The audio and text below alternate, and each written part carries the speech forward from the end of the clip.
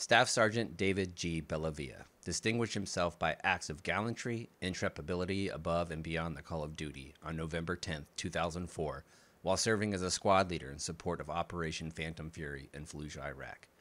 While clearing a house, a squad from Staff Sergeant Bellavia's platoon became trapped within a room by intense enemy fire coming from a fortified position under the stairs leading to the second floor. Recognizing the immediate severity of the situation and with disregard for his own safety, Staff Sergeant Bellavia retrieved an automatic weapon and entered the doorway of the house to engage the insurgents. With enemy rounds impacting around him, Staff Sergeant Bellavia fired at the enemy position at a cyclic rate, providing covering fire that allowed the squad to break contact and exit the house. A Bradley fighting vehicle was brought forward to suppress the enemy. However, due to the high wall surrounding the house, it could not fire directly at the enemy position. Staff Sergeant Bellavia then re entered the house and again came under intense enemy fire. He observed an enemy insurgent preparing to launch a rocket propelled grenade at his platoon. Recognizing the grave danger the grenade posed to his fellow soldiers, Staff Sergeant Bellavia assaulted the enemy position, killing one insurgent and wounding another who ran to a different part of the house. Staff Sergeant Bellavia, realizing he had an uncleared, darkened room to his back, moved to clear it. As he entered, an insurgent came down the stairs firing at him. Simultaneously, the previously wounded insurgent reemerged and engaged Staff Sergeant Bellavia. Staff Sergeant Bellavia, entering further into the darkened room, returned fire and eliminated both insurgents. Staff Sergeant Bellavia then received enemy fire from another insurgent emerging from a closet in the darkened room. Exchanging gunfire, Staff Sergeant Bellavia pursued the enemy upstairs and eliminated him. Now on the second floor, Staff Sergeant Bellavia moved to a door that had opened onto the roof. At this point, a fifth insurgent leapt from the third floor and onto the second floor roof. Staff Sergeant Bellavia engaged the insurgent through the window, wounding him in the back and legs, and caused him to fall onto the roof.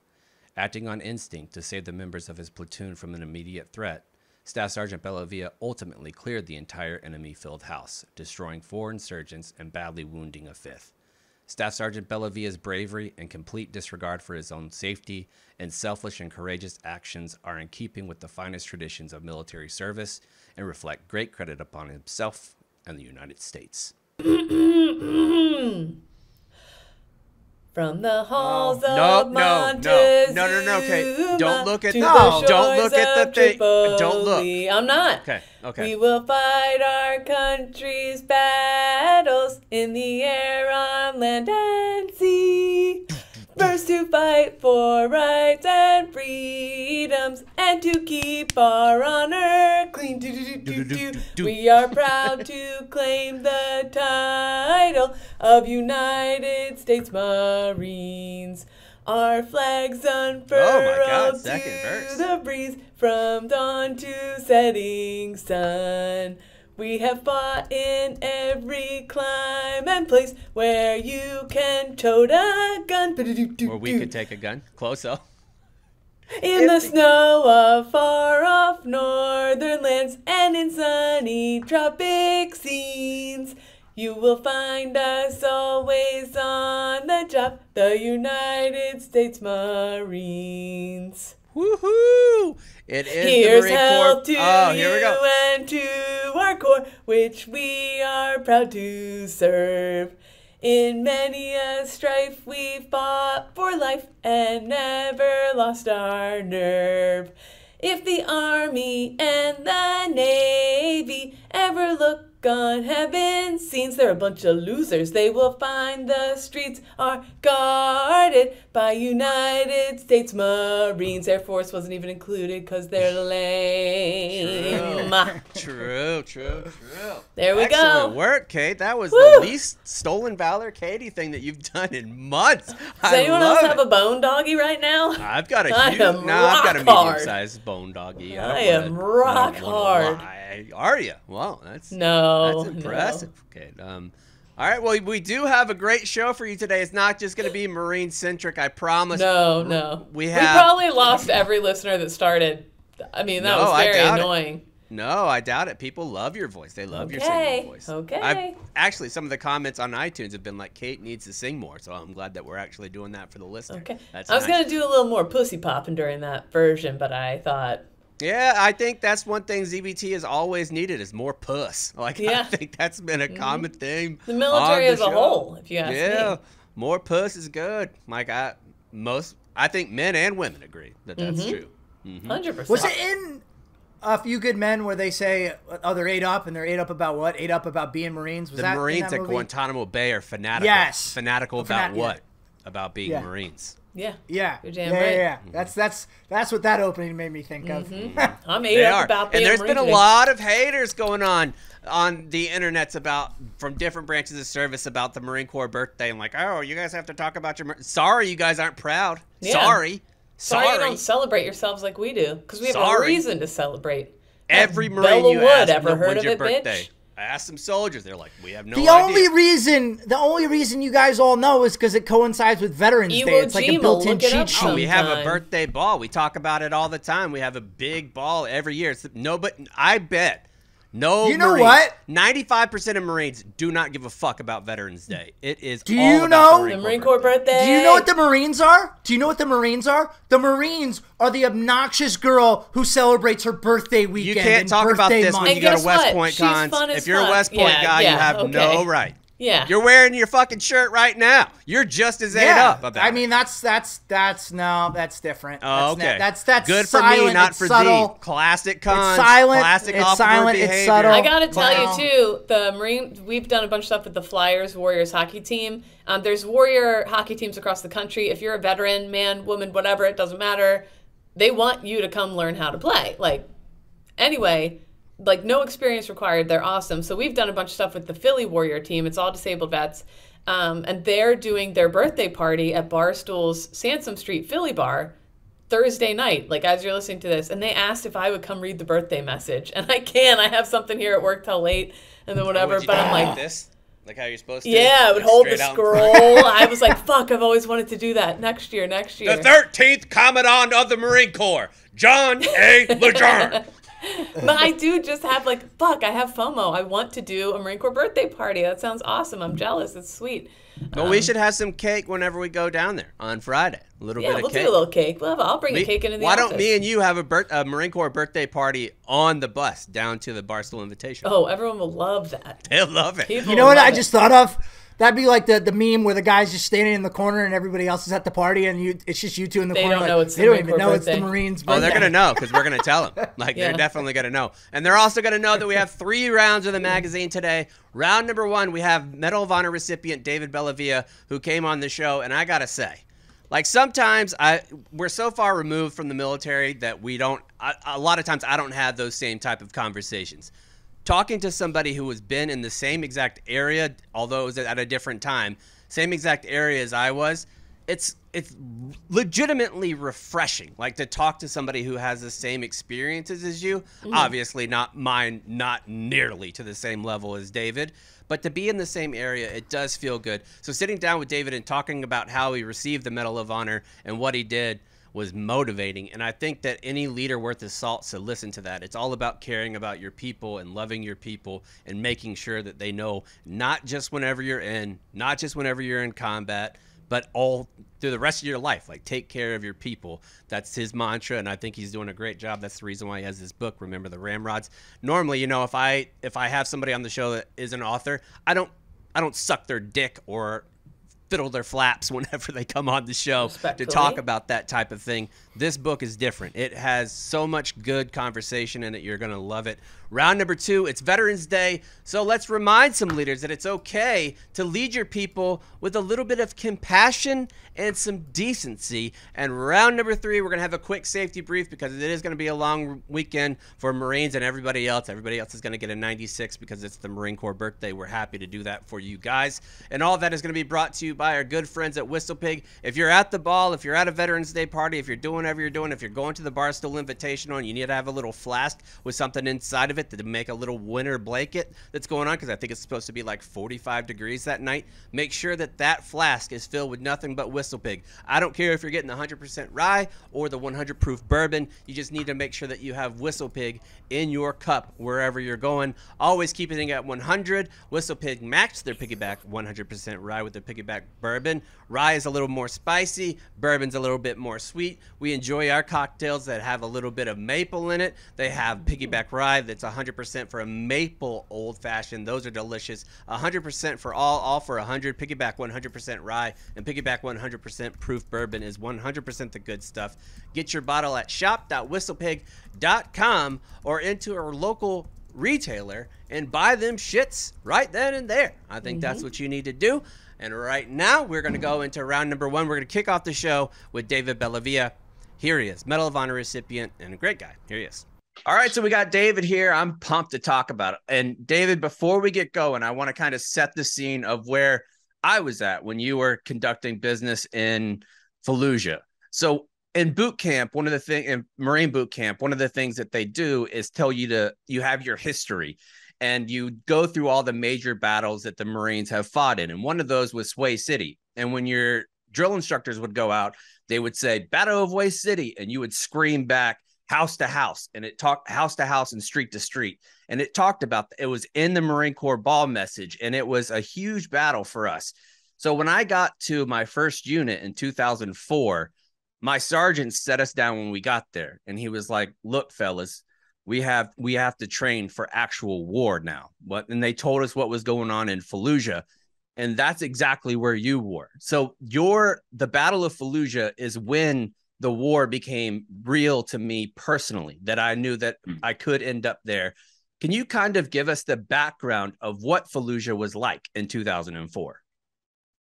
Yeah, so the uh, so I was Army. You're a Marine. Uh, Anbar Province was turned over in April of 04 from the 82nd Airborne to the, to the United States Marine Corps. So the Marine Corps had all of Anbar, and Anbar was always the place, even under Saddam. That was the most dangerous part of Iraq. Uh, there was a mindset that you took your guns to town in Fallujah. So the population of Fallujah built their homes like they were drug cartels. I mean, it was like designed for siege warfare the the homes are uh, defensible, uh, gun slits uh, up uh, on the rooftop, thick walls. They're a very insecure population because of uh, just the, the nature of what Fallujah meant to the Iraqi people. And you've got the contractors that are attacked in late March of 04. Uh, the Marines start an operation in April called Vigilant Resolve, where they basically kick the hell out of the insurgents in Fallujah, but it's on camera. And because it's on camera, it becomes an IO information operations. Americans are bad. Uh, Marines are fighting a PR war.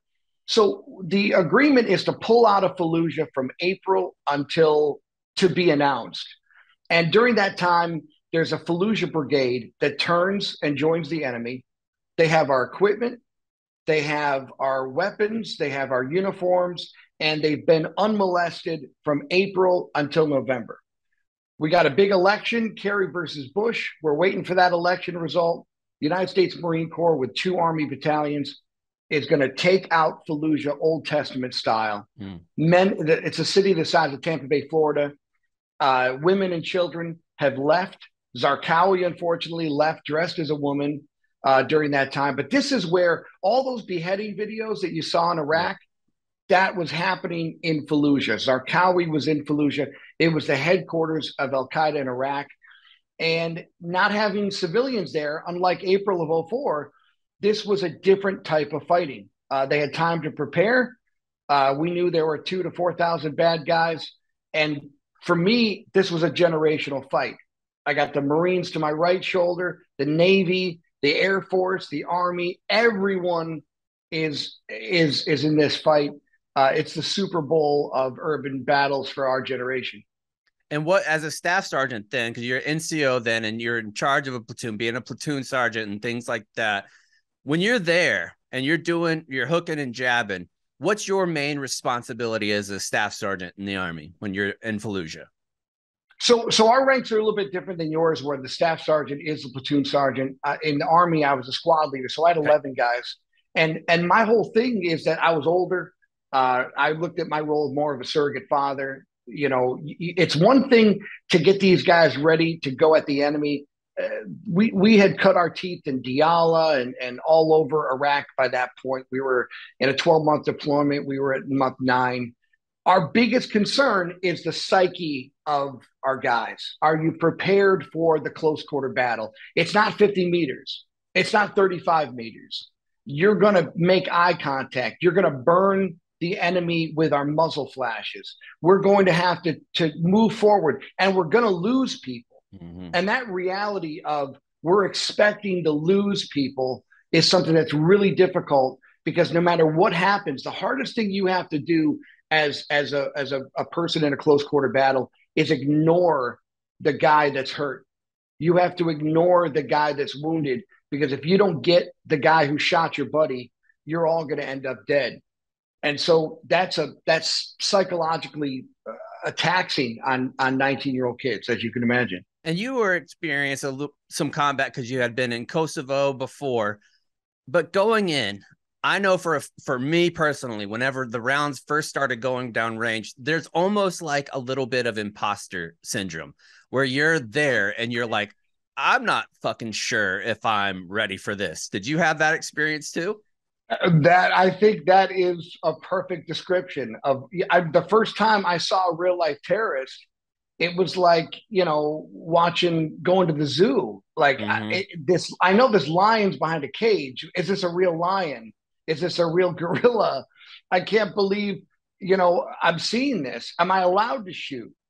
what, what the, the, rules were so you know uh, black and white at that point where you didn't know if we were allowed to take the first time you get shot at you go from scared to angry to now wondering am i going to go to jail like is this legal you know what yeah. i mean and mm-hmm. and it's a lot to think about it's not certainly not what our parents had to deal with in vietnam or granddad in world war ii where they were just like, boom, let the and everything's go. on helmet cams or our cams oh. on strapped on and all that kind of stuff. And the embedded reporter is mm-hmm. running 4K video, and it's not like you know making their film, uh, getting ready for the evening news two days away, where they're getting their film uh, checked out at Kodak. This is they're filming you, and you're on the nightly news that night. So if anything goes wrong or goes sideways, you know you're you're going to be in trouble. It, it's a lot to process, but once Fallujah is actually an easier fight to prepare yourself for than having a civilian population there. There, you you've got to make sure that you're taking the shots and you're you're protecting children and women and innocent people. In Fallujah, this was Old Testament. If it was on the street, it had a rocket, it had a machine gun, and you were dropping them, you know, as much as you can. I gotta say, listening to you talk about that, nothing was easy in 2004 in Fallujah. Nothing. And I, I mean, the respect that I have for somebody like you that went through what you did, it clearly affects you. Whenever you were give, you were given a speech one time, and you talked about how somebody else will raise your children if you come at the United States of America, and that type of talk only comes from people who have seen what real combat looks like. And you, it's almost like that old Mattis line was like, I'm pleading with you with tears in my eyes. If you fuck right. with me, we'll kill you all. It's essentially right. the same right. thing. And can you talk to us? And I'm sure you've gone through this story ad nauseum, but for our listeners that haven't heard your story, can you walk us through what you wrote your first book about, House to House, and how you ended up ultimately receiving the Medal of Honor? We, so we were in Fallujah. Uh, we had every time we got a mission, it was always eight to ten bad guys. It was never ten. It was rarely eight, but that was the number we gave. We're looking for eight to ten guys. We we track them down in a city block. Uh, we've got our Bradley fighting vehicles and our tanks, uh, which are thermals. Uh, at night, no one's leaving this block. We know they're in here, and we just start preparing it. But we're gonna have to go in there eventually and clear them out. Uh, and we just started clearing these houses. We started seeing blood. We saw food. We saw, you know, we saw evidence that they were there. And then we get into the last house, and uh, our our uh, our saw gunner uh, Oli opens up a door, and there's two belt-fed machine guns under a stairwell with a jersey barrier, like they built a bunker in their house. Mm-hmm. The whole house is rigged to blow, and we get into a crossfire between two enemy machine guns our machine guns outside. We're trapped in this house. Bullets are coming through walls and ricocheting everywhere. And I'm on one side, and the rest of my platoon is on the other side. You know, uh, honestly, there's really in, the military at war, you get a it's a lottery. and you get your number called, and you either do it or you don't. Uh, but it was just I had really no other choice but to suppress these guys mm-hmm. and get our guys out. So I, I my machine gun was hit, uh, my rifle was hit uh, with a, a, round. I exchanged it for a machine gun. I stood in the doorway. I shot at those boys uh, to keep their heads down. Our guys got out. And then I, I just got pissed off because I, I've never broken contact in my life. And down the street, Brad Kasal is in that house of hell. Mm-hmm. Rafael Peralta just threw himself on a grenade. Mm-hmm. These names have become almost iconic of my yeah. generation. Everybody is doing something in this little neighborhood. It's a really bad spot. They killed my company commander, Sean Sims. They killed my sergeant major, Steven Faulkenburg. They killed my executive officer, Edward Iwan, and they killed a buddy of mine from Buffalo, J.C. Madison.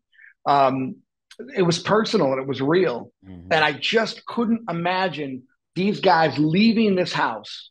The, it was so tough to find the enemy in that year. It, they were ghosts. They would blow you up and run away. If I could get them in a house where they can't get out, I'm going to take advantage of that mm-hmm. as much as I can. And honestly, I, I, was shitty at math. I only thought there was two of them. You know what I mean? I only yeah. saw two. So I'm like, I'm good for two. I'm good for two. You know what I mean? So yeah. I figure I can get two of them. I just shot 200 rounds at three feet. Surely they're wounded. Well, it turns out I can't shoot a, a saw, and and it turns out. It turns and I love that, that went, honesty because people think, "Oh, you're a military guy. You know how to shoot every weapon in the arsenal." Not no, true. Not true at all. No, I haven't shot a saw in years. I mean, I'm a squad leader. I, you know, it's been a while, but the gun ran away. It's a machine gun, mm-hmm. and when you when when you pull an automatic weapon, that you know, unlike a semi, when you pull that trigger, it goes. Sometimes saws run away. Mm-hmm. And this saw ran away. And no matter, I let go of the trigger and it was still going. So I ran through those rounds far too fast. It wasn't accurate. Um, they weren't hurt. And when I, I, I had to go back in there, uh, and so I set up uh, machine. How did that fuck you around. up mentally when you know that you just laid 200 rounds down and you're like, fuck, man. Like it's almost like those dreams where you're falling and you can't stop, or you're naked and you're trying to run yeah. fast and you can't do it. I imagine that's what yeah. it felt the combat version of that. You know what it was, man? It was these. I love these guys. When I'm 20, I was 28. This was on my birthday. So it's a Marine Corps birthday, right? So it's I'm I'm 29 on the Marine Corps birthday in 2004, and uh, all I thought about was I couldn't say I love you to another man when I'm 29 because I'm far too alpha to do that. But I couldn't express ever how I felt about people that I cared about. And I love these guys so much. And all I remember is when I was training them in Kosovo, in Germany, everywhere we went, I just was like, God, give me a moment that I could show how I feel about these guys. And this was my moment and I completely missed the layup with two seconds left of the game. I missed this field goal. I missed my shot. Everything I've been asking for the opportunity, I missed. And then I'm looking at my guys, and they're talking to other uh, squad leaders about what to do. I felt like I lost them. Mm. I felt like they were looking at other people like, oh, well, my guy just nutted up. My guy just ran out of a house. Like, so I'm like, I'm going to get these boys back and I'm going to get them back old school style. And I'm not going to risk them. I'm not bringing them in. I'm going to do this myself. There's only two of them. F them. I got Lawson, who's another uh, squad leader. He's only got a nine mil and two magazines. And we're like, let's just bum rush them. They'll never expect us to come through that same door again, like a bunch of assholes. Like, who would do that? Mm-hmm. That's such a stupid idea. You know, that back door is open. I got my machine gunners moving around. They're going to hear those guys from the back, and we'll just we'll just come through the front door again and see what they do. And uh, it worked for those two. It just turned out there was a couple other guys in that house, uh, and they were healthy and they were they were high. And that was another problem is that mm-hmm. these boys were doing Timothy Leary amount of drugs, man, and mm-hmm. it's really tough to fight high people. I mean, that's uh, like the berserkers from the Vikings. Like that's exactly the reason why they were so tough is because they had that almost PCP effect where they're not going to go down unless they're really, really down. Yeah, I mean the the Sunni Wahhabi, which is the radical Right. form of Sunni, uh, they had a, an old school during the Crusades. They had Hashishians, which were guys that were just like doing hash all day, and they just were like balls to the wall because I mean I would probably do hash too if I was up against Oh, against all the weed that they pass American- in Afghanistan. I was like, I'd put that shit in my pocket. yeah, no, seriously. Like if, if I was going up against tanks and you know the Air Force and the Army and the Marine Corps, absolutely I'd be, you know, I'd be higher than a kite because this is Mhm. gonna end horribly. But when you're shooting at those guys and you you you're it's so dark, you don't know is this the same dude? Is this like I, I shot a guy five times in the chest and he ran away. So maybe it's the same dude, or maybe it's a different dude. And not that I'm, you know, racially profiling anyone in, in Iraq, but in 2004, everyone kind of wore the same uniform with the same beard, um, and they were just rolling through the door with with AKs and just they were fearless. So when I found fear in their face, I used that to just feed the machine of let's just I'm to roll until my luck runs out you know? At least i can put a dent in these boys and i know a platoon's to roll in here and end it. Uh, i just kept going until you know my luck ran out and it didn't run out. So i you know sometimes in blackjack you just keep keep doubling down you know? And you hear that old phrase one of my favorite phrases that we use in the marine corps and I'm, you definitely are the embodiment of it is that we move to the sounds of the guns that we march to the sounds of the guns and that doesn't mean behind us. That means in front of us and we continue to push forward. Was there ever a time after that when did you find were you finally able to calm your brain? Because i think that's the difficult part of really wrapping your head around living medal of honor recipients like what woody williams and others have had to go through where you experience this intense trauma. But at the moment the military doesn't realize your chain of command is not like that's medal of honor worthy. You continue to go. How did you calm your brain after that incident where you kept in charge and you kept moving? You know i gotta tell you i um i don't know if I, my brain's ever calmed down since to be Mm. honest with you like i think when you go through something like that uh I, I I shot this guy, the last guy, second last guy that I that we took out in that building. I had hit him repeatedly. I beat this guy with my helmet, my SAPI plate. I'm finally using a Gerber on him, and I'm thinking to myself, he's got that much fight in him, mm-hmm. and I'm exhausted, and he's kicking my ass, and I'm thinking to myself, you know. And then I hear another guy, totally healthy, that I've never met before, screaming at this guy. And I'm thinking, this is it. This is it. What level of insanity do you have to go through to get through it? And I remember coming home from block leave in Iraq, and I was pissed off at a UPS guy who looked all happy. I saw a bunch of 20 something year old dudes with their hot girlfriends, and they're getting lattes. And I'm thinking, why are these people not they don't even know there's a war going on. Mm-hmm. Like I was so pissed off that everything was normal and I was going back into hell. And I, I ran into a Vietnam veteran who gives me all my wisdom. And that Vietnam veteran said, Your problem is you think you're coming home. And you're never going to be able to fight if you think you're coming home. You're going to worry about your men. You're going to worry about losing someone. Give it up. Close your eyes. See your funeral you're dead. Now go back and give them a fucking fight. Mm-hmm. Give them the fight of their lives. You fight with everything you got because you your job in this world is to make sure that your mom and dad never see a mujahideen in the United States. Your job is to wipe these boys off the map. And if they have kids, their kids are going to be like, Dad's not around because dad made a horrible decision. Dad should have gone to dental school. Dad chose to fight Americans, and Americans are going to wipe you off the heap of history. That's what we're going to do when we fight. We're not there to stalemate. We're not there to make peace. We're not there to make you feel better about us with your with your college degree in English lit. Mm-hmm. We're there to fight, and we're going to crack skulls to do it. And when I started realizing literally and I, when i started realizing that it didn't matter my job was these men my job was my mission and my job was to win in a fight well guess what there's no such thing as being tired there's no such thing as intestinal fortitude and how much left, how much you have in your tank. You go until you're dead. And I wasn't dead, uh, wounded, hurt, whatever. My guys were going through the same thing I was.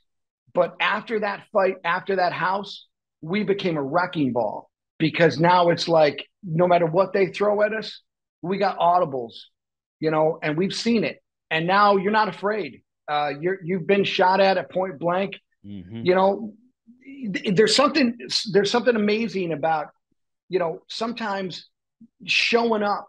A lot of guys are tough behind cover when they're shooting, but when you're right in their face, man, it takes a nanosecond of pause and hesitation.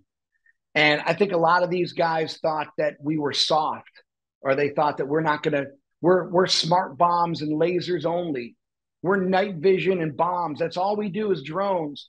No, no, we're going to knock on your door and kick your chest in. And, okay. uh, yeah, it was, it was, it was great to be a part of that fight. And once you go through that, the imposter syndrome's gone. Like, and I think that's done. The, once you have your first major firefight, everything changes because it's yes, like things slow down for you. You're not completely nervous. You're like, I can get through this. I'm going to be okay as long as I'm doing what I'm trained to do. Maybe something happens, even if I'm not trained, like a, a round comes through a wall and hits you in the forearm, like it did me. but you have these moments after you get your first firefight. You're like, okay, let's fucking do this. Let's calm down. And that sticks with you for the rest of your life in super stressful situations where you can calm it down. I'm sure that was the case for you as well. Well, look at it. How was a guy like you doing, you know, a broadcast for the whole country? What what right do you have to do that? Are you any good? Can you compete? Well, guess what? After you've been shot at, there's not a damn thing you can't do. Mm-hmm. Are you going to talk to the girl at the end of the bar that everyone else is intimidated to talk to? No, I'm going to talk to her. Yeah, my wife's hot. Yeah. yeah. Are you are you going to go for the job interview that everyone says you're not qualified for? Screw it. You know, eh, there's nothing. And and by the way, that's really intimidating for civilians because mm-hmm. once you have someone that's basically like, "Hey, I'm not going to die at the end of this. I can wait in line for my latte at Starbucks. No one's going to die here. It's not the end of the world. I'm going to take chances, calculated risk, veterans, combat veterans make amazing financial people because we don't need, you know, oh my God, we've got to have 95% risk assessment. You've never had 95% in your life. Yeah. Certain things. Yeah. You've done things, you've done things with like 2%. This is a really stupid idea. I don't think the military's ever accomplished anything at 95% rate, ever. no, no. You just do it because you have an obligation and fidelity. And and I think our biggest problem as veterans is we come home and while civilians like before they trust, we trust before we like. I've I've known guys for 20 years. I still don't like them. You know what I mean? But mm-hmm. I trust them. Yeah. I trust them. And and, I, and we think, yeah. I think that's one of the things that I love about you and Flo and Groberg talked about it as well. Both of you guys give so much credit to the to the unit that you are in, and that's the reason for your new book. Um, Remember the Ramrods. Could you talk about how special your guys are still to this day, even 18 years later? So we're we cancel each other's vote out. We like different sports teams. We look different. Some of us had great dads. Some of us didn't even know who our fathers were. We're from the city, the suburbs, uh, every walk of life. Um, some of us are straight. Most of us are straight. Some of us are gay. Mm-hmm. No one gives a damn about anything. I don't care about any ass, all the things that separate us in this world of divisiveness and tribe. We are one tribe.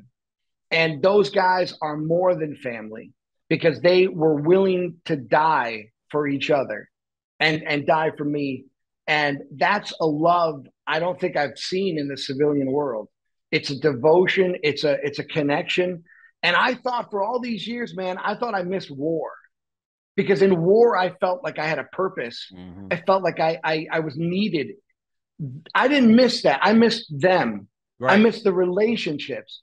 And it took this Medal of Honor 15 years later for me to realize, wait a minute, I don't give a damn about the war. I care about the fact that I had meaning and I had purpose and mm-hmm. direction. Mm-hmm. And I need to find that again in my life. And so I picked up the phone and I started to honor the word, the promises that I made years ago. I want to be in these guys' lives. I want to be, uh, I'm a forever soldier. I'm a, a forever NCO. I want to be center to their lives again, like, because I do love them. And I'm at a point now in my age where I'm not afraid to say I love you. I'm not afraid to say I miss you and I hope you're well and I want you to be okay. We got to find our purpose as a generation. We, veterans have got to find why why we're needed, not in the fight, but why we're needed in this world and the value that we bring to the table. We have far too many guys that are are you know suffering from addiction and suicidal ideation, and it's bullshit. It, we have to remind each other why we're needed because what we're doing today is far more important than what we did in uniform. Oh, I completely agree with that. And I, I like what you said about the veteran earlier in the conversation when you talked about how you were able to do that because you happened to be in a crazy situation at a crazy time and you were there and you were able to do what you did. But I'm sure you would say, just like Kyle Carpenter and other folks, that if somebody else was in that position, they would have done the same thing because that's how we were trained to do things, right? Well, they did it.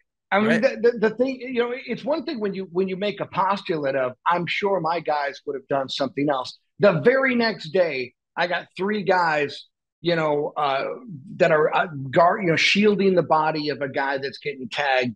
I got a guy who gets his ankle blown off and tells the medic, you know, uh, roll me over. Max Field's like, roll me over and treat my ankle while I, I keep popping the saw every day I saw that. So it, it, it was literally, you don't have to fantasize what these guys are going to do because you know they're going to do it. You've seen them do it. I don't care about, you know, legacy and all these things that people talk about when they're dying. If you're going to talk about the Medal of Honor story, you got to talk about the Ramrods. They didn't get any attention. They didn't get the awards they deserved. Uh, I got this thing filmed by a Time Magazine reporter, Michael Ware and now everyone can see it on a documentary or you can see the videotape and it talks about one action one person. I'm saying look that's not how i was raised in the army. That's not how we're raised in the infantry. We're all about the team. If you're going to remember the story remember the team and that's why we remember the ramrods. And it's a fantastic book. Again if you haven't been to fallujah if you're just a civilian listener that wants to get an accurate portrayal I say that Generation Kill is one of the most accurate military books that there is as far as real experience, real conversation, and how things go down that's not fluffy. It's going to challenge you. This book, if you read it, it's going to challenge your disposition if you're not used to hearing incredibly violent things. This book is fantastic, and I'm so glad that you wrote it, David. Thank you. Hey, thank you for your service. Thank you for representing us uh, as veterans as a generation, and uh, happy Veterans Day. Happy Marine Corps birthday as well happy Marine Corps birthday to you and happy regular birthday to you as well. I love that guy. Yep. I do. Like talking As soon as you were done the interview, you started texting us. You're like, "Oh my god, that was I just you said how much you loved talking to him and that was awesome."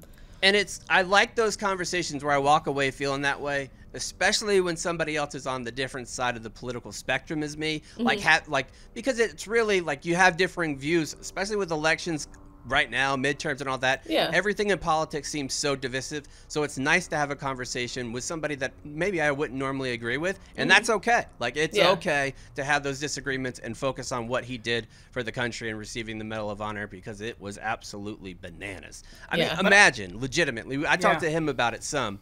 Beating someone, to, having to, not just beating someone to death with a Kevlar but having to in yeah. order to survive. Like this isn't a thing where you're like he went out with a Kevlar looking for somebody like right. it was Ragnar Lothbrok in early Viking days. Like that's not what happened. Yeah. He had to survive, so he beat somebody to fucking death with a Kevlar. Crazy. Yeah, that's not what you expect to have to do ever in the military. Unless World War II, going like, off to war. Like yeah, those type exactly. of things happen. You didn't expect that in the right. War on Terror. No, no, and I just think you know, growing up, and then certainly when we were in the military, I feel like most of the Medal of Honor recipients were from battles and wars past, and, and we would not have heard about them, maybe only read about them in, in history books. They weren't really walking among us. And now, in the last 20 years, with how many folks uh, have done valorous acts that are deserving of that medal, for us to be able to speak to them and, and bring their stories to listeners, I think is a really uh, cool e- experience uh, for all involved. especially the civilian listeners who might not have heard Yeah. any of these stories that are going on. And one thing about David too, he's one of two living Iraq veterans who are Medal of Honor recipients.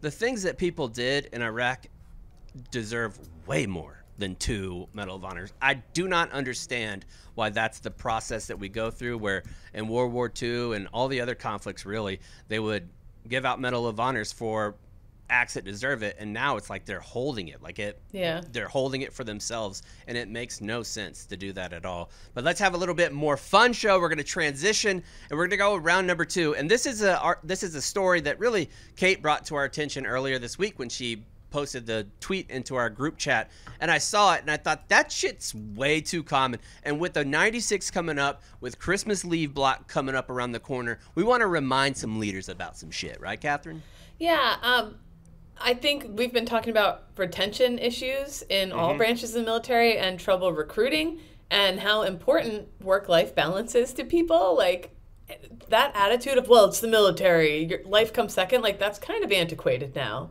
Like people Very. are like, no, no, we've seen that we can have both. Like let's, as long as it makes sense for our train, like whatever, we can have both. It's okay. Um, so this tweet went kind of viral, so I thought we should talk about it on the show. This guy on Twitter, King of Cavalry, obviously also former military himself, posted this tweet, and it's humble too very humble. Yeah, yeah. I'm the king of cavalry. Yeah. suck it cons you're just the prince or duke I was the peasant of MPs myself. I was at the very bottom.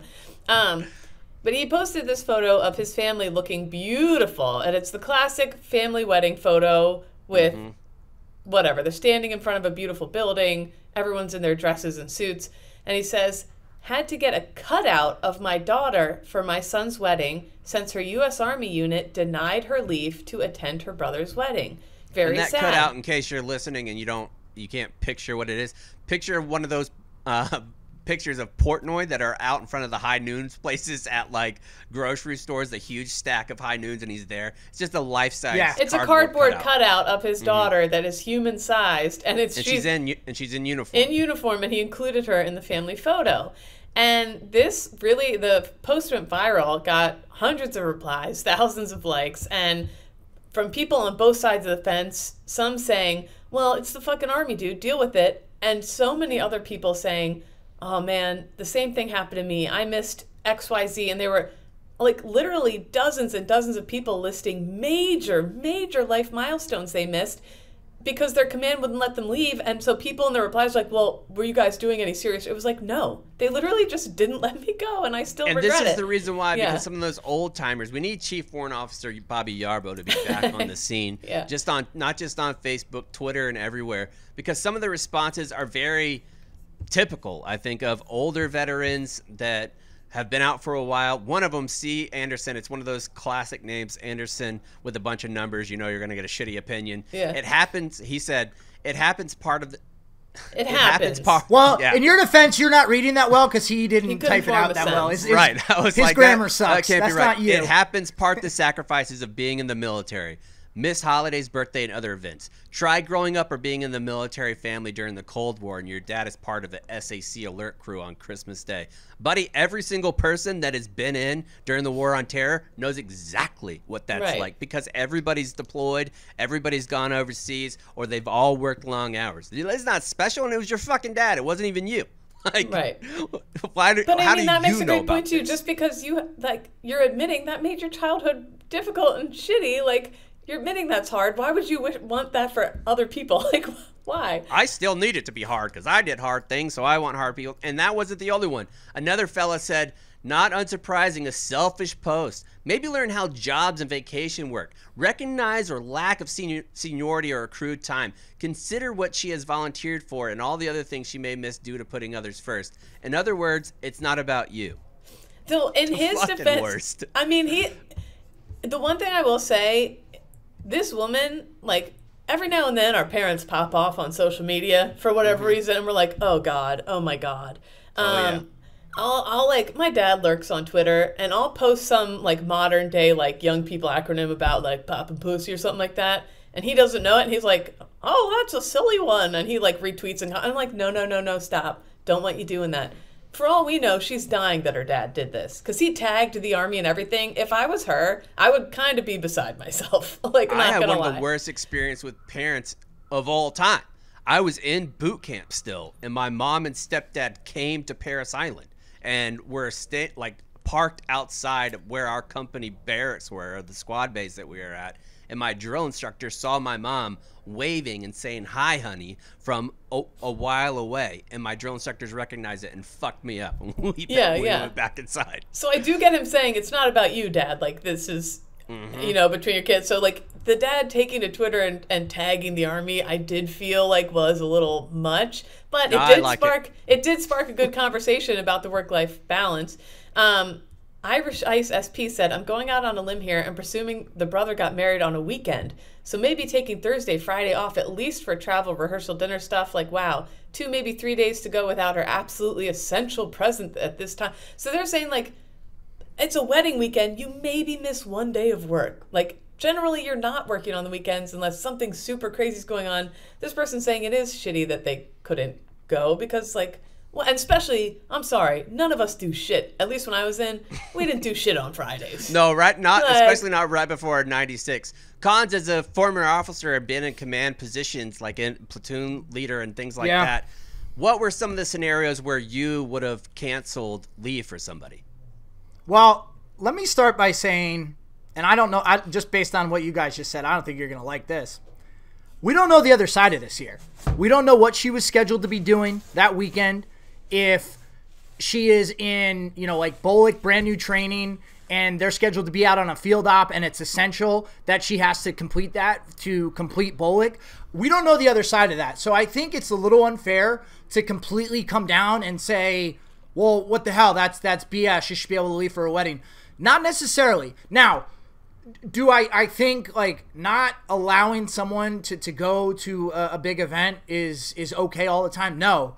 I just think it's important to hear the other side here because it is possible. It's like, well, if we let her go for this wedding and and miss this essential training that maybe we can't redo for just her and let her graduate from BOLC without completing a particular requirement, what does that say to everybody else? So I think my only reason for thinking that's not the case is that her dad was clearly also in the military and he's been in communication with her. And yeah, so, but he wouldn't know. but- I don't think he would. know. yeah. but I think that she listen, would tell I don't him even like know- I was in the I- Let military- finish her point. But I yeah, I think I think she would I would assume be communicating with him and be like, "Yeah, dad, this is like absolutely training I can't miss." In which case if I was him, I wouldn't take to Twitter about it. Like I feel the only reason I, I think a dad like, still would. Oh yeah, oh, yeah, absolutely. A dad think still so. would. I get "Oh, involved hey." with my kids' fourth grade class. I'm getting involved in everything. Yeah. But the only, the only reason thing I- too, well, the only sorry, thing.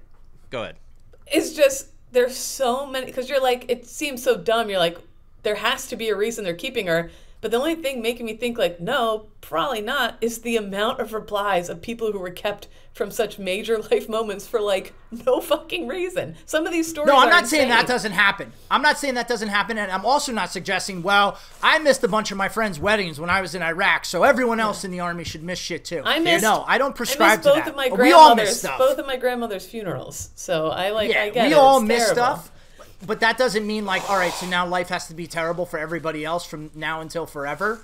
I'm just saying, I would like to hear the other side of this before I just blanket The other come down side, on the though, army. cons comes from the chief of staff of the army and the sergeant major of the army. Whenever they put out their work-life balance, they say that even if you have training that you're supposed to go to the field with, that it's equivalent to a birthday game or recital. Like it's not that important. When you're talking about major one-time events, the army from headquarters army saying the only equivalent to missing a wedding funeral or one-time events the only thing that's going to stop you from that is a deployment a major deployment is the only thing that should stop you from doing that that's the guidance from the general of the army and the sergeant major of the army so no matter what they say if you have to go to the field for three weeks not a good enough excuse according to the the chief of staff of the army and the sergeant major of the army this is their doctrine company commanders battalion commanders regimental commanders and regimental generals should all follow that instruction But I, I think, and I, you, you know this as well as anybody. I don't think doctrine is always black and white.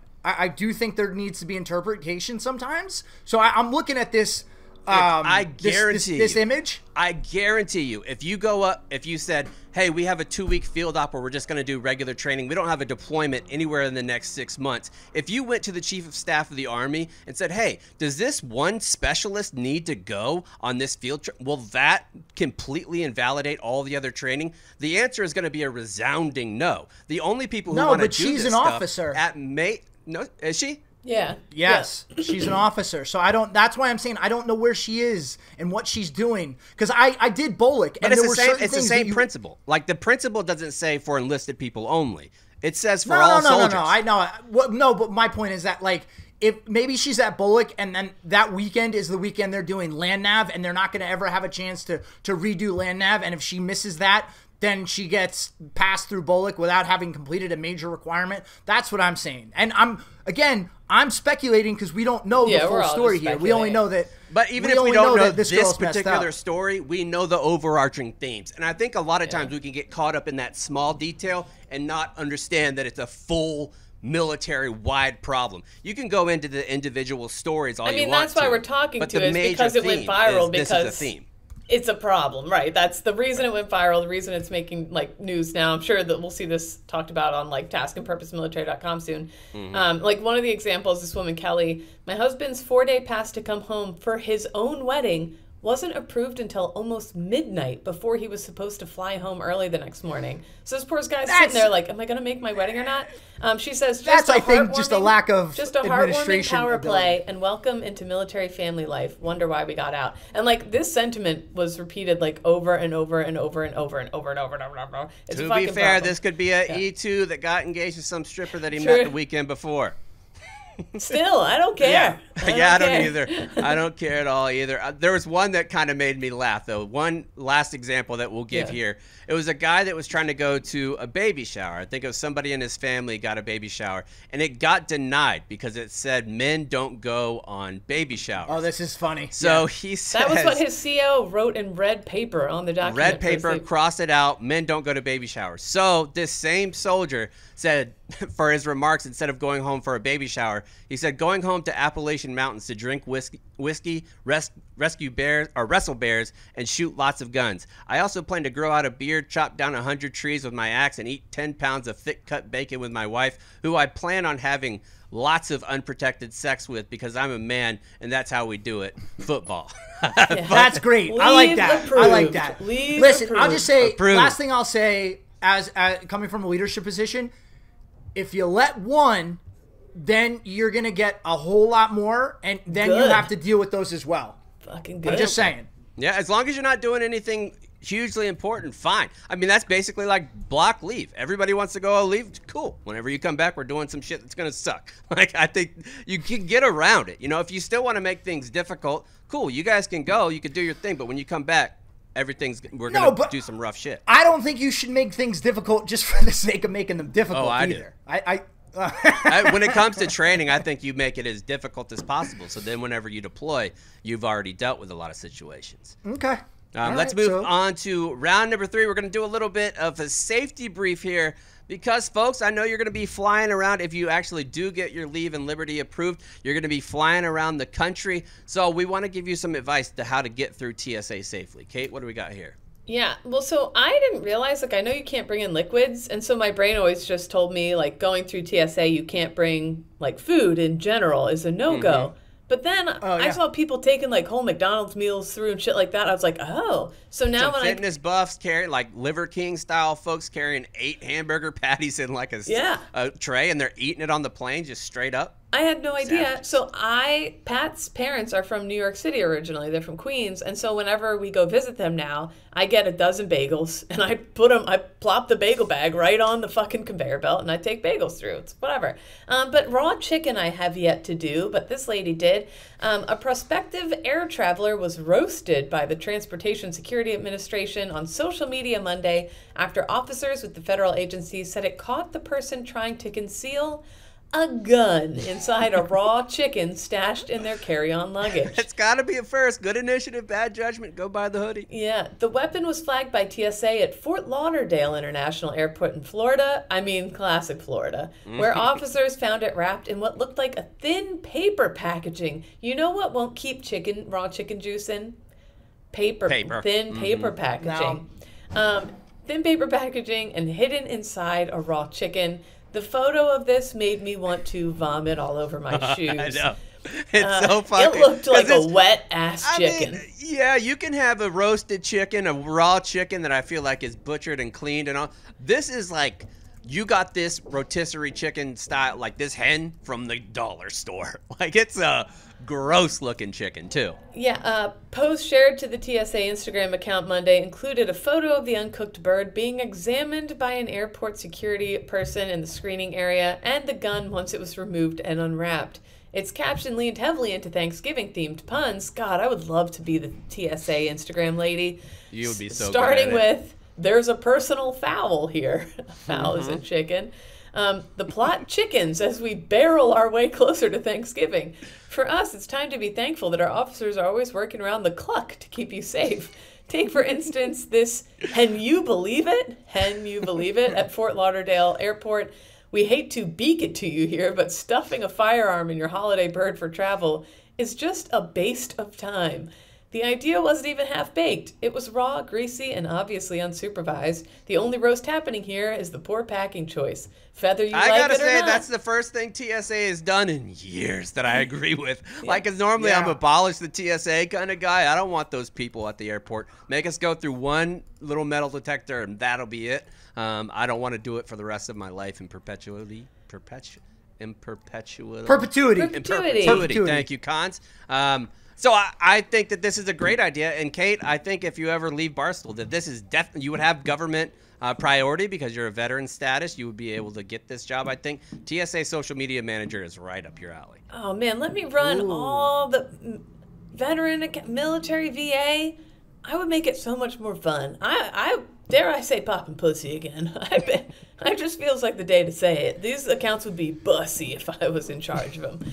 Um, fun. Did you guys watch DuckTales growing up? Oh, yeah. The cartoon? Yep. You remember when the, the, the, I forget their names, but the people that were always in jail and they would bake a cake and put the chisel in the cake? Oh, yeah. That's what this reminds me of. Yeah, a little bit of That's- that's Shawshank what this- Redemption too is, is what it's Yeah. about. I mean, my favorite part of the Ducktales, obviously Scrooge McDuck. If you have any, Mm-hmm. I mean, granted, if you jumped off a diving board into coins, you would kill yourself instantly. Like Yeah. that wouldn't be great. But you would have. And you'd have all your money stored in this place that has like a diving board and gold coins. If you want to have a wallet that's better than that, make sure that you go with our friends at Ridge Wallet. It mm. holds up to 12 cards, that room for cash. There's over 30 different colors and style, including carbon fiber and burnt titanium. It's made with RFID blocking technology. Do you guys know what that is? Yeah, It doesn't it peop- block? Because there's there's things from they can like walk by you now and just like zap all your information on your phone or your credit cards. Not just that, I learned that they could do it with your key fob too. Like if you have a key fob at your house, Oh. there's like a connector device that somebody could go to your door, get the signal from your key fob, and that is transferred to another key fob. That's how they're stealing. That's how they stole my fucking F two fifty so fast. Holy like shit. it's because Wow. they do that boom boom, and then they're in and out in two seconds because they can unlock the door, the alarm goes off, and all that shit. so I looked into how to get rid of it. They could do it at gas stations and places like that with your credit card, the one that has a little. If you have the credit card that could tap, they could do the same Yeah. shit. So they're recommending to have these types of wallet that you can get at Ridge. Um, hold on. If you get it Ridge Wallet, yeah, I knew there's another word. It's wallet. Ridge Wallet. Uh, make sure that you do. And if you can get one, a little box that you can put in by your door, you can protect yourself there. These things are awesome. It secures anywhere from not just your wallet, but two keys as well. It organizes your key in a compact silhouette and fold out for easy access. There's six colors and style of the key case that you can get. Go to ridge.com and use the promo code ZBT for 10% off your order. You're not going to regret that. Let's move on to some save rounds and alibis. Nick, we'll start with you. Save round. Just want to make sure everyone continues to go to the YouTube and please hit subscribe. Please follow us everywhere TikTok, on Twitter, Instagram, everywhere. Uh, we appreciate your follows. Thank you. Kate?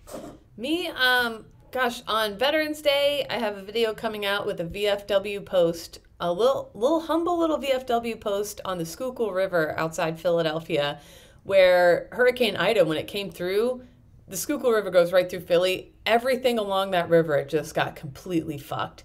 And this was, you know, a lot of these posts are fading away and dying out, and this one was going strong. Like had such a strong presence. I went down there to talk to some of those guys, and it's men, women, like at the every era, every war, like they're all there, and they do so much in the community, and it flooded all the way up to their roof and like totaled their entire like just this humble little building on the river, but just screwed it. And for the last year, they have just been scraping tooth and nail to get it together. So I'm excited to. Um, hopefully, it looks like Barstool might be able to help them out in some way. So I'm excited for that. Some of them are going to be coming to the game on Friday, but I feel like that's an awesome way to kick off Veterans Day is by helping out that post right there and seeing what we can and do. And if you still want to go to the Barstool Invitational, we still have some tickets available. If you go to vettix.com, you can get you can get tickets for free. We put some more that are available to veterans. So if you guys want to go grab those up, yeah. feel free to do that. Um, but so we'll also be. I'm going to be doing a blog with the GoFundMe forum too. Eight, eight, five bucks, like five bucks, ten bucks. They said they're. T- uh, I just spoke to the post commander yesterday, last night, and he said that this couldn't come at a better time too because they're. I forget if it's taxes or something is due, and they're they're like going into debt now on even the probably property taxes. Property yeah. taxes is what it is. He said we can't. We're just we're at we're about to lose this post. So, um, anyways, just excited that hopefully something so really good comes from that. Also, petition the city. Give them a fucking break, man. I know. Like it's the VFW. Give them a break. They should yeah. get an exemption, anyways. Um, um, what about? Is that it, Kate? Other thing. Oh, I watched the 247th Marine Corps birthday message. Mm. It's over 10 minutes long. It's a doozer. A lot of badass training footage with a focus on jungle warfare. Is that where we're going next? A lot of those that Navy SEAL poster where they're coming out of the swamp with their guns, you know, that gets me once again rock hard. Um, mm. Um, little cameo in the beginning by General Mattis, that one where where the the person interviewing him is like, "What keeps you awake at night?" And he's like, "Nothing. I keep other people awake at night." And Still I just one picture, of the best modern quotes there is. I just picture being drunk at the ball as a lance corporal and just letting out a "Hoorah, hoorah, hoorah, hoorah, I just feel like that when he pops up on the screen. I just pictured a dark room with a ton of those from Drunk Marines just popping up. Yep, yep, yep, yep. Did you guys say that in the Army cons where you just say kill every now and then? Like that's kill. a response? Like it's a affirmative? Like, hey, you guys tracking? Kill. Did you say that? yeah, we do. Yeah, we yeah, always say ki- kill. Yeah, yeah, kill's kind of like uh, yeah, just yes. an all-encompassing mm-hmm. word. Um, hey, we guys, you guys tracking? Kill. Kill. Then there was women in this one. Remember last year there was no women in the birthday ball oh, message. Yeah. They tossed a couple ladies in there this year. I was glad to see. There we go. Um, they had a whole big cameo by Colonel Nicole Mann. Um, she flew what over 47 combat missions in Iraq and Afghanistan in F-18s, and she's heading to space. So she's a fucking NASA commander now. So I thought that was fucking awesome. And she and talked she about F-18 pilot. She was talking about like, yeah, there was times I was fucking scared, and that's the moments where you have to get it together and hone that fear into just pure badassery, which I thought mm-hmm. was really cool. Courage is not the absence of fear, but moving forward despite fear. Yep, there was some allusions to China and Russia. Ah, just straight up videos of them being like, "We gotta stay ready because these motherfuckers are getting squirrely." Um, and then they let us know right now there's over 31,000 Marines stationed overseas or deployed abroad. Kyle Carpenter was in the video. It's a great video. Um, so shout out to those 31,000 Marines if you're listening right now and you're deployed somewhere. My voice just. You're deployed somewhere. I thought you were um, gonna cry. happy bir- no, just fucking happy birthday, Marines. yes. Just happy birthday. That's all. Um, and finally, um, next week interviewing uh, some reporters from military.com. Really interesting article they just came out with. Because um, the rise in military suicide, it was considered this mystery. Um, military.com did a ton of research, really dug deep, and traumatic brain injury is more and more looking like the the cause of these things. And I think it's really important for veterans who are like, what's wrong with me? What's happening? Like, it's such a relief sometimes when you find out, like, what is wrong, like, what's going on with you? Like, there's an actual name for it. Wait a minute. There's reasons this is happening. And so they did a pretty interesting article about it. I'm going to talk to those reporters next week. So stay tuned for that. That's it Sweet. for me. Sorry. What that was a long one. Thank, Thank you. you. I was waiting. I was sitting here waiting. Mm-hmm. Mm-hmm. Yes. Great modeling, by the way, Cons. Yes, very handsome.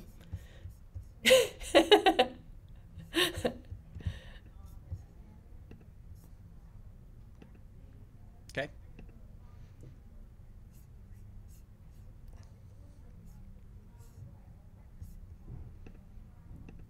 Mm-hmm.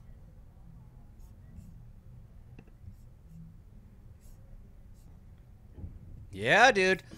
A lot of haters. Like, James Taylor fucking sucks. It's boring. I was like, dude, he has the velvety voice. He's an unbelievable acoustic guitar player. Had Carole King live at the Troubadour, and people were shitting on it. I nearly deleted my Instagram account. I'm like, if this is what people want, I don't want to be involved with this website anymore.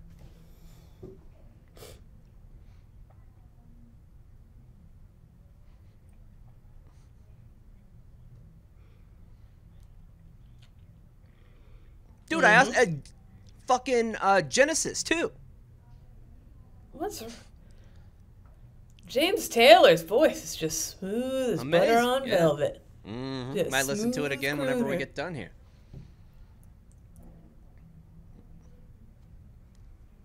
True. That's the second week in a row you've been old man yelling at the clouds. these damn kids with their mumble rap. They have their mumble rap. These kids. All. The, uh, you could be listening to James Taylor. No, but you got your young thug. Uh. These kids are taking leave, going to weddings with their headsets on, listening to rap music.